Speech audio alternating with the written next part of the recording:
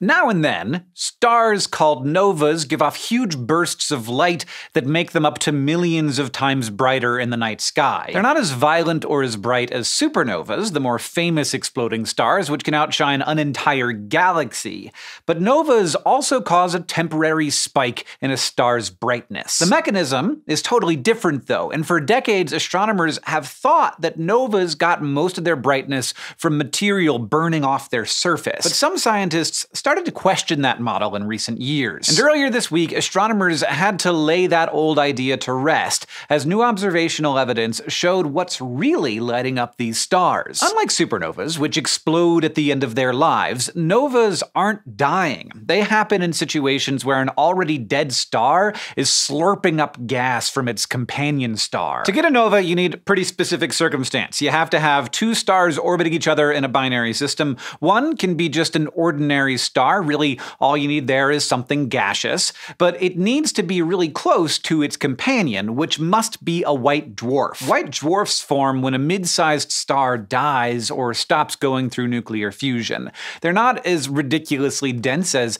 other stellar remnants like neutron stars, but they've still got a lot of mass packed into a small space. And when you have a dense little package orbiting close to a star that's more gaseous and puffy, it can siphon off that star's outer layer of gas. As the white dwarf dwarf accumulates mass, it doesn't grow bigger though, it just gets denser and denser until that new gas starts fusing and triggers a thermonuclear explosion. Basically, just a quick bout of nuclear fusion in the outer layers of the star. For a long time, astronomers thought that was how novas happened, that this brief explosion created a brief burst of light. But researchers started to question that model once they realized that an explosion like this would also send shock waves traveling through all that accumulated accumulated gas, and that should also cause a change in brightness. See, the different shock waves don't all travel at the exact same speed, so some of them should collide with each other, and that would cause the material they're passing through to heat up and emit light. So recently, the big debate among astronomers studying novas has been, did the initial explosion produce most of the light,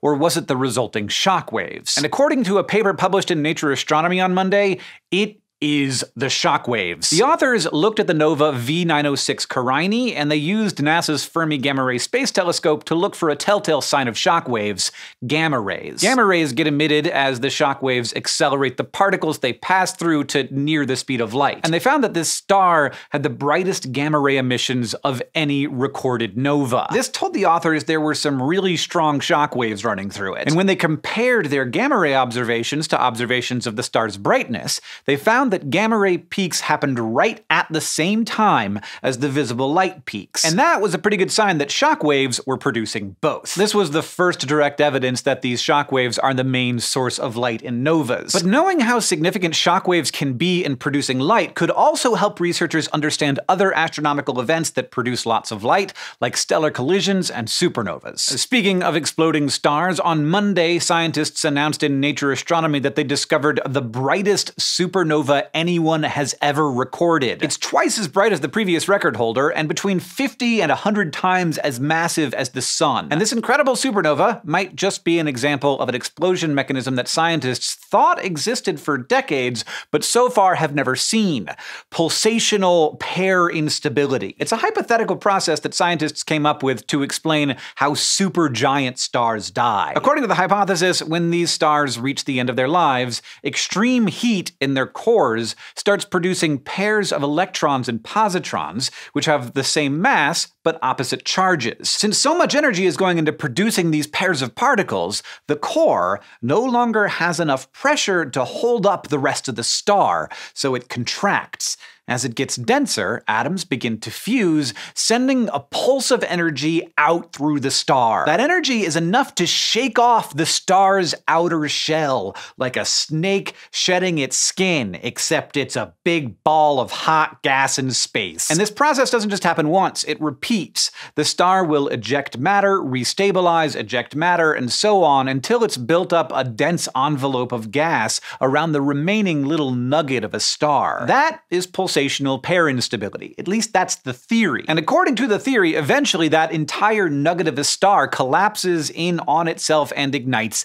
into a supernova. A star going supernova by this mechanism would be super bright because matter from that final explosion would collide with the dense outer envelope of gas, which would burn up and release a ton of energy. And because the supernova this team observed was so bright, that might be what's going on here. At least it's the best candidate yet for hypothesis of pulsational pair instability. While this explosion has already faded, explosions like it will be great candidates for the James Webb Space Telescope to study more closely when it gets into space. It's not often that we see something in space that changes before our eyes, but exploding stars are some of the rare exceptions. They show us how dynamic space really is, and they give astronomers a way to test their theories about how these incredible stars live and die. Thank you for watching this episode of SciShow's Space, and while you're here, I wanted to tell you about SciShow's Space Pin of the Month. It's a Vostok 1, which was the first spacecraft to carry a crew to space,